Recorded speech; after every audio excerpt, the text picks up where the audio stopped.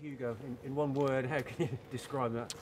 Uh, a little bit frustrating night, you know. Um, we felt we did enough to win the game, and really it was just uh, one moment from a throw in that perhaps we switched off a little bit from. But no, there's a lot. Was, we've had a, a, difficult few days in the sense we've been up and down the country. Um, and they were a good side, Buxton. They're a lot better than than people probably give them credit for, what the league table suggests. But think we did enough to win the game tonight. And the frustrating thing was the game kept being slowed down. You know, we're trying to get the game going, we're trying to do this, we're trying to do that, but there's always two or three players over the ball.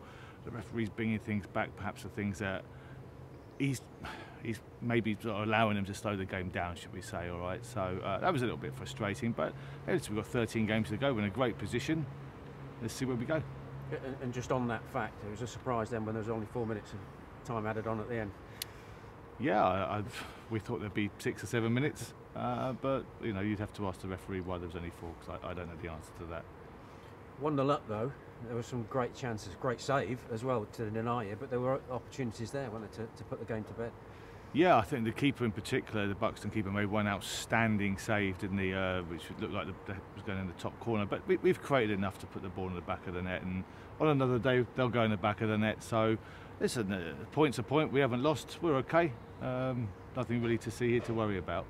It was a shame because at Buxton there was one switch off, which gave them a goal, wasn't it, in, in the six-yard box? And, and it's a bit similar tonight.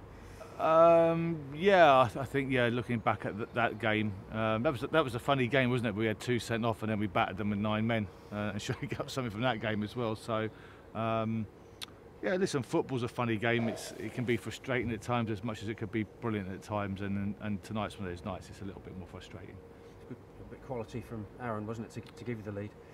Yeah, this. Uh, I mean, I know Aaron well. I know I've known him a long time, and um, his biggest attribute is his pace, you know, running in behind, and that's what he did tonight. It was a great ball in behind, and you know, he, he had the the ability to remain calm in his thinking and score. So, so well done to him. I think he scored six goals for us now since he's been here. So, um, he's contributing in, in many ways. And uh, listen, like the rest of them, there's always more they can do. And um, but yeah, I'm, I'm pleased for Aaron.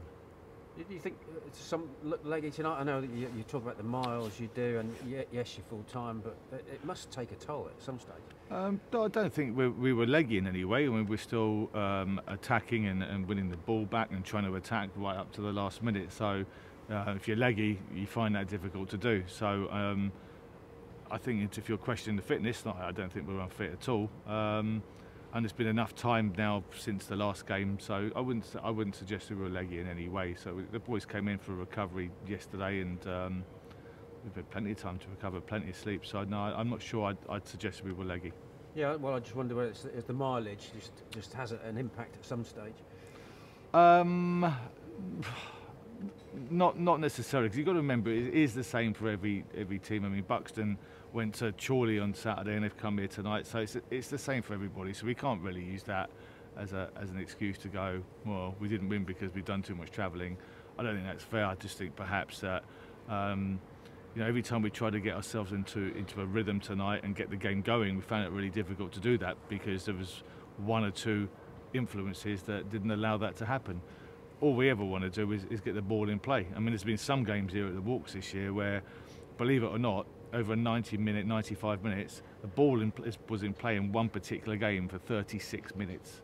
And out of those 36 minutes, we had the ball and were attacking for 25 minutes of that. So a lot of the teams that we play, they want the ball off the pitch. They want to slow it down. They know that we want to play and get the ball playing, and we just want to keep attacking and transitioning and attacking. And the teams are obviously going to do whatever they feel they need to do to, to slow that down. I would imagine the change room's a little bit sombre, is it? Um, uh, I think not, not necessarily somber. Um, I think it's a, a, little bit of disappointment that they haven't won the game. So, as I said, we've got 30 more attempts to win 30 more games. So, we'll do our best to win as many of them as we can. we can't say any fairer than that. But obviously, injuries are starting to, to pile up, and, and, Paul Jones now missing, and that's the first game he's ever missed for, for Lynn. It's, it's when you know injuries. Some of them are you know, they're a little bit out of our control. Like Paul's, you know, he's got a, a problem with his finger. Uh, what that's going to be I don't know. Um, we'll, we'll, assess him over the next few days. I think he needs to have a little bit further um, meetings with medical people before we know exactly. But uh, Sam Blair, I mean, let's give him some credit. You know, he's made his debut tonight. Sam's been with us on loan from Norwich all season. Um, he trains every day, and he's he's, he's an important part of the group because he always has been. And I think he, he did himself proud tonight, and he made one particular very very good save. It was the only real thing he had to do, but he did it very very well. So I, I think we should applaud him for that. It's an annoyance as well, as they only had one thing to do, wasn't it? Really. Yeah, apart from pick the ball at the yeah. back of the net, but that's not his fault. You know, if you if you switch off from something or don't pick people up in the box and you allow people to take one or two touches in your box and shoot, and the chances are at this level they're going to score. So that that's the only real disappointment of tonight. But I don't want to take anything away from Sam because the goal wasn't his fault, and I think for a young man who's making his way in the game, I thought he, he, he did himself exceptionally proud tonight. As you say, though, he's been involved for, for many, many weeks and months, so that, that's ideal for him just to step in. Yeah, he's been with us all. Know, I can't remember since when. It's been the majority of the season, and you know we thank Norwich for the fact that they've allowed him to be with us for the season, and he, he's been really, really important because he makes training better for the lads because he's a good goalkeeper. Um, so is Paul. Uh, so's uh, Tommy Dixon Hodge. You know, they, they're good goalkeepers and, and they make training better because they're good keepers and players have to work hard to beat them. It's obviously a run of three home games and now, now Scarborough, a tough one coming up on, on Saturday. Yeah, you know, you get to the stage of the season now where, you know, it's, it's colder, the pitches are a little bit harder to play on. Um, this is a quite a direct league, so um, there's a lot of sleeves being rolled up by, by certain teams. A lot of the teams in the division. Scarborough are no different. They're, they're, they're a good side. They're good at what they do. They've got their strengths. Uh, I think they drew last night, didn't they, away at, at Bradford? So, uh, yeah, listen, we'll look forward to the game. Uh, we had a good game up there. We came back from again from a losing position to, to draw up there. It was a bit of a weird game that because, if I remember rightly, the first goal, the goal moved. The second goal, the player uh, was off the pitch behind the goal, came back on the pitch to tap it in, and okay. But uh, listen, they're, they're, a good side. It'll be a tough game. No, we certainly can't question the spirit of the side. You go back to Saturday, three-one down against Fylde to, to come away with something from that one. Yeah, I mean, I think we should also give Fylde some credit. They were very, very good in the first half, whilst we weren't. Um, but you know, there's some things that we spoke about at half time. Everyone seems to think that we went, you know, Tom and I went into the change room and threw teacups around and stuff. It wasn't the case. It was just we needed to on, on, that particular game. We needed to get Josh Barrett and Ben Stevens on the ball more, and as well, how do we get them onto the ball? And uh, I thought the second half at Fylde, we were, we were terrific, and we could have won the game. So it literally was a game of two halves, but whilst they could argue that they could have scored more goals in the first half, we'll argue we could have scored more in the second half. So I don't think either team deserved to lose the game Saturday, and I thought it was a really, really top quality game of football and a great advert for this division. And I thought the two those two teams show why we're currently first and second.